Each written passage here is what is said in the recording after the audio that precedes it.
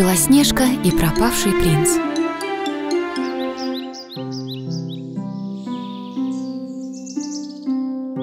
Давным-давно в далекой стране в большом белоснежном замке жили Белоснежка и принц Антуан.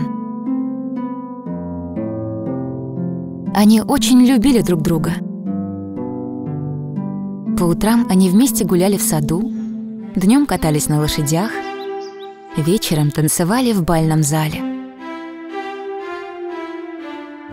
Белоснежка, ты такая красивая. Ты озаряешь мое сердце светом. Пока ты со мной, мой принц, я буду сиять, как звезда в небе. Они были счастливы наслаждаться миром и покоем в своем королевстве. Ведь злая королева Гелла, мечтавшая погубить Белоснежку, была изгнана и поймана в ловушку темного леса. Там, в темном лесу, злая королева построила себе замок из ядовитой грязи. Ее неуклюжий слуга, Дунков, продолжал служить ей верой и правдой. Юная пара и не подозревала, что у Геллы был магический шар, через который она продолжала шпионить за Белоснежкой. Хрустальный шар на столе. Покажи мне Белоснежку. Я ненавижу Белоснежку. Я уничтожу твоего драгоценного принца, и тогда твоя красота превратится в вечную печаль. Ты красивее всех, моя королева. Ты даже красивее меня. Убирайся, Дунков. Не хочу видеть твое уродливое лицо.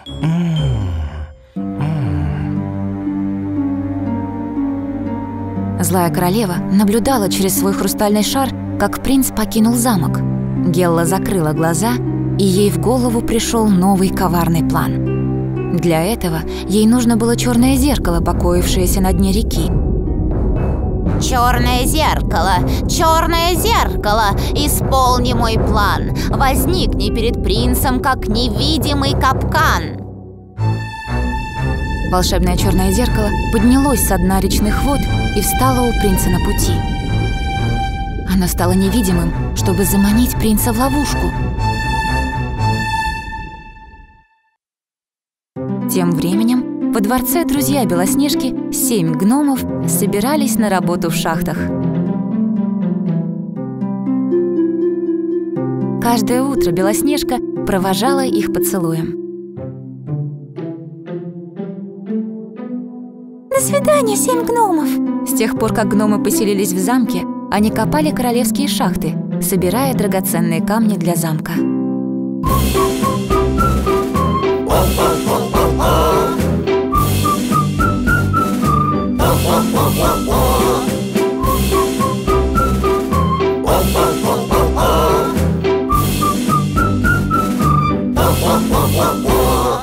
Смотрите, смотрите. Что это? Как ярко. Чи. Простачок, посмотри, что ты наделал. Ты все испортил. Подождите, подождите. Сюда, здесь есть еще. Эй, ты прав. Посмотри сюда, на скалу. Гномы и не подозревали, что нашли очень ценную магическую пыль. Она ярко сверкала, и они наполнили ею свои крошечные мешочки, Здесь немножечко для вас и немножечко для меня. А затем отправились обратно по тропинке к замку. А теперь, а теперь обратно в замок мы идем. А на другом конце королевства принц Антуан ехал по дороге на своем белом коне Прега. Он собирал красивые красные розы для своей жены Белоснежки. А потом увидел самую красивую розу. Она росла у подножья дерева, и принц направил к дереву своего коня. Поскакали. Прега. Но, но! Подожди здесь, мальчик.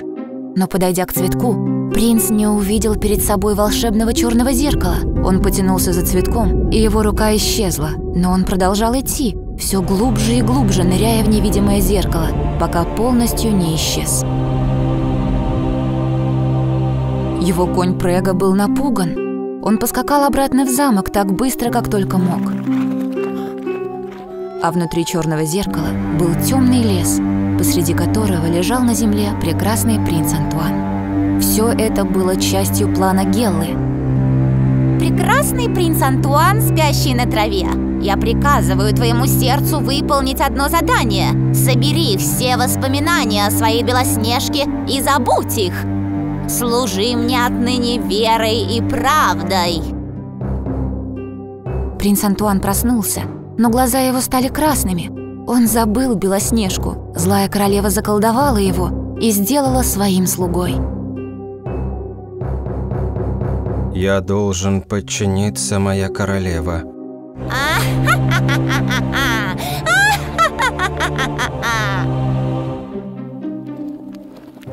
Конь принца бежал в замок так быстро, как только мог.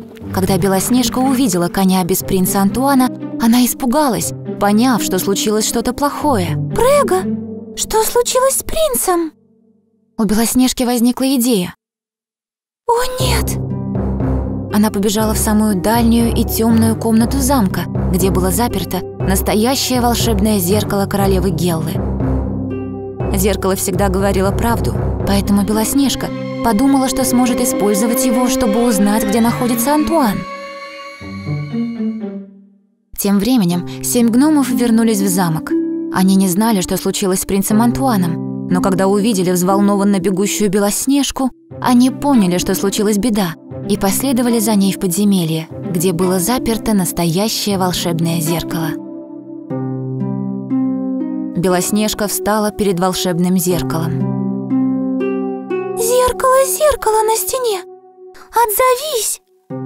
Волшебное зеркало не ответило. Белоснежка спросила снова. «Зеркало, зеркало на стене! Ответь на мой зов!» Наконец зеркало ответило. Ты ищешь своего принца.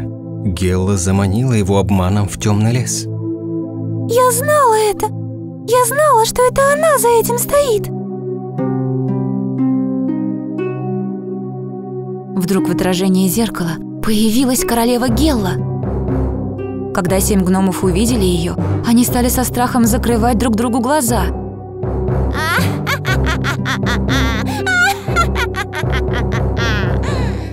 Если ты хочешь спасти своего драгоценного принца, войди внутрь зеркала. Белоснежка любила Антуана и шагнула к зеркалу. Сначала она протянула к зеркалу руку, а потом ее полностью затянула в темный лес. Нет, стой, не ходи туда, Белоснежка! Было слишком поздно. Белоснежка оказалась в темном лесу. Сверкнула молния, деревья загорелись в темноте, и вдали проползли страшные существа. Семь гномов не знали, что делать, но они были верны Белоснежке и решили последовать за ней. Белоснежка и семь гномов стали пробираться через темный лес. Несколько светлячков подлетели к ним и осветили путь. И это было хорошо, потому что они чуть не упали в озеро. Принцессы и гномы стали осторожно пересекать озеро по камням. Но вдруг гигантский осьминог с длинными щупальцами поднялся из воды и напал на них. Злое существо схватило гномов одного за другим и стало раскачивать взад-вперед. О, о, Немед, отпусти нас, помогите! Но как только осьминог собрался схватить Белоснежку, прилетела стая светлячков, чтобы защитить ее.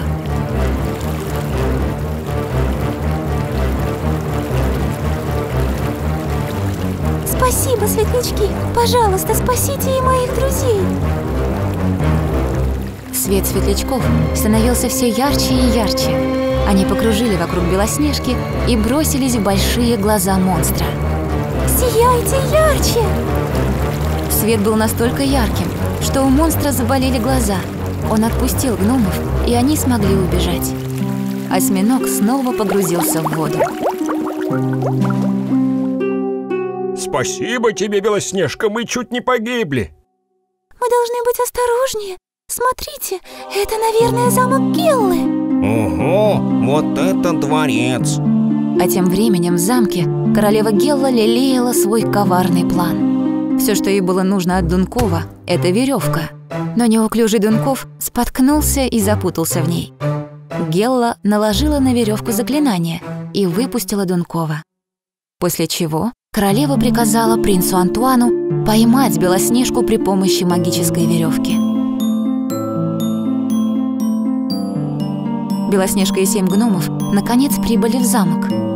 Белоснежка увидела Антуана, который стоял неподвижно, со связанными руками и ногами. Белоснежка бросилась развязывать принца, но это была ловушка. Как только она коснулась его, волшебная веревка перешла на руки Белоснежки. Ха-ха-ха! Я поймаю ее, моя королева. Семь гномов пытались развязать принцессу, но тут прямо позади принца появилась злая королева Гелла. Я поймала тебя, красавица Белоснежка.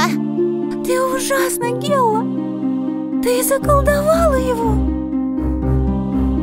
Гелла направилась к Белоснежке. Вокруг нее пылал магический огонь. Она вознамерилась уничтожить с его помощью Белоснежку. Гномы растерялись. Простачок ринулся к королеве, чтобы остановить ее, но споткнулся. Крошечный мешочек гнома пролетел в воздухе, и волшебная пыль из шахты осыпалась на руки принцессы. Веревка развязалась. А, я свободна. Эй, посмотрите, пыль, которую мы нашли в шахте, разрушает колдовство. А что?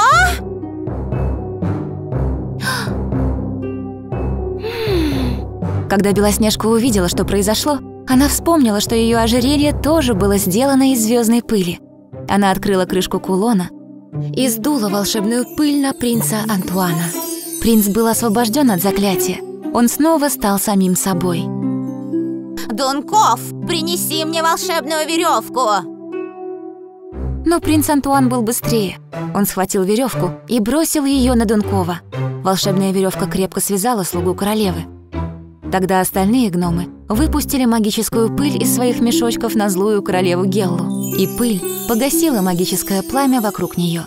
А Гелла превратилась в каменную статую. Но это еще не все. Волшебную пыль подхватил ветер. Она разнеслась по всему темному лесу и снова превратила его в прекрасное место. Лес стал снова полон зеленой листвы, травы и цветов. Да, Гелла была превращена в камень. Зло, наконец, было остановлено. Ура! Юху! Ура! Юху! Любовь и дружба снова воцарились в королевстве. Белоснежка, принц и семь гномов вернулись в свой замок и продолжили жить как раньше, веселой и мирной жизнью.